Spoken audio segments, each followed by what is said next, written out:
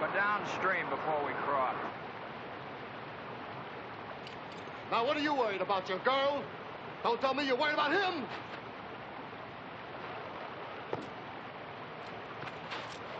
Why, it's no different from the rope in Abilene. You knew you were going to bring him back to die when you started after him. You know that now. That hasn't changed. He's not a man, he's a sack of money. That's why we're all here, especially you.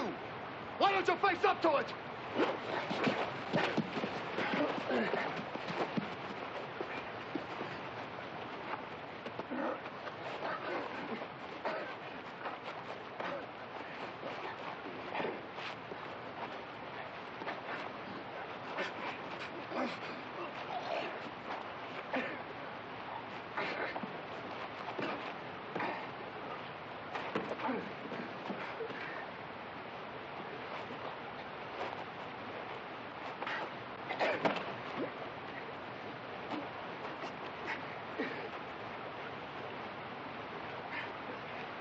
Oh.